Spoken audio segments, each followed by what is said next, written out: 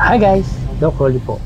Maaga po biyahe natin ngayon papunta sa Philippine International Convention Center upang tumanggap ng uh, isang parangal mula sa Professional Regulation Commission o PRC para sa ating Rizal Medical and Health Sciences Institute College of Medical Laboratory Science.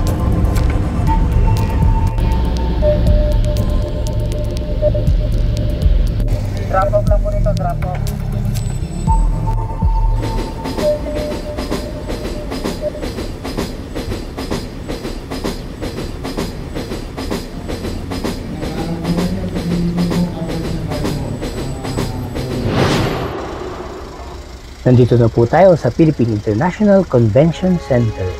Maaga po tayong nakarating. More than one hour before the program start. Hindi pa rin po nagbabago ang ganda at elegance ng ating PICC.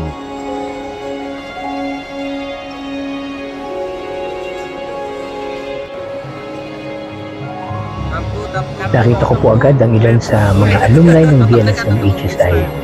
Sila rin po yung nasa una kong vlog na nagsabi ng top 2, top 2. Ayan, sila po yan.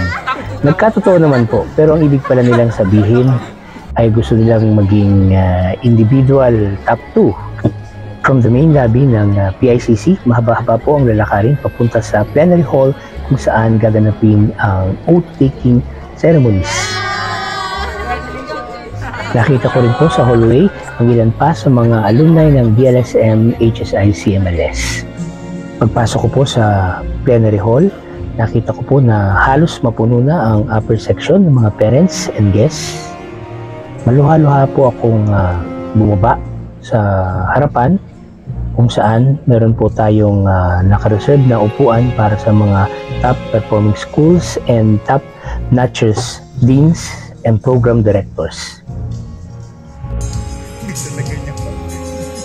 Nagkaroon po tayo ng pagkakataon na makausap ang top 1 ng August 2022 board examination for MedTech from UST na si Karam Molbog at ang kanyang mentor and department chair, Dr. Edelberto Manahan.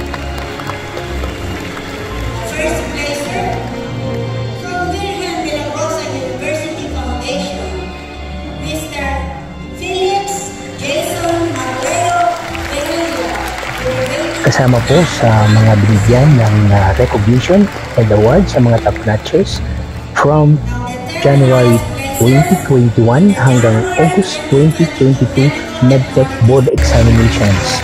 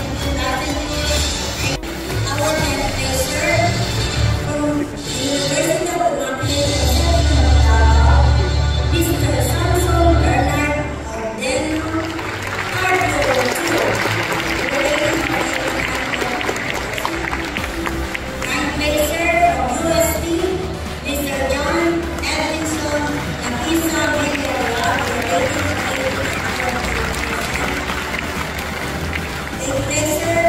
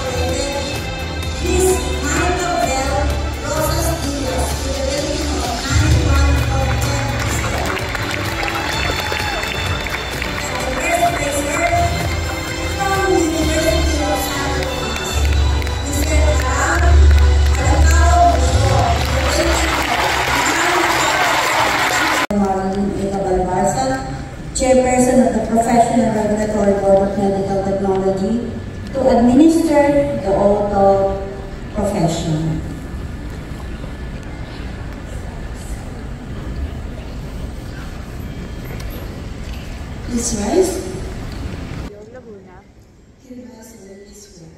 Hereby solemnly swear.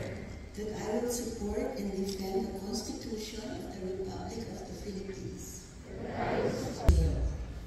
On September 22, 2017, he was appointed by President Rodrigo Duterte as one of the commissioners of the PRC and he Dr. Jose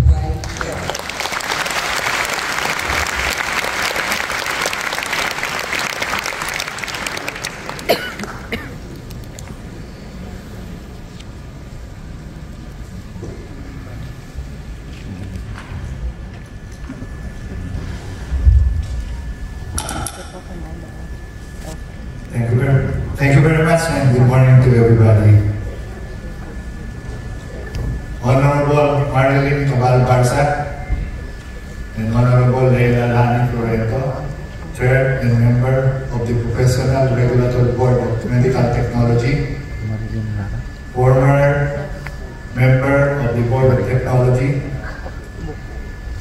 our MC, Ms. Marian Tantinko, Attorney Lorelica Bautista, our Chief of our PRBSEC Division, Deans, Faculty of Schools offering medical technology courses,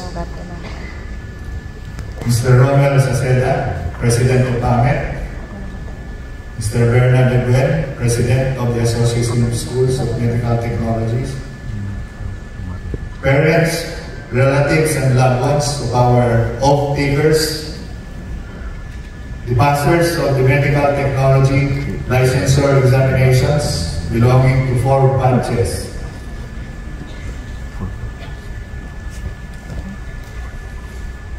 Guests, ladies and gentlemen, for my specialization, general surgery, and I used to teach also, and I conducted residency training. So uh, incidentally, I'd like to greet my former student and my former resident, Dr. Rolly Reyes, the Dean of the DLSU College of Medical Technology. He used to be under me as my medical student and as my resident. Then, we put up the College of Medical Technology. So, are you all familiar with what PRC does?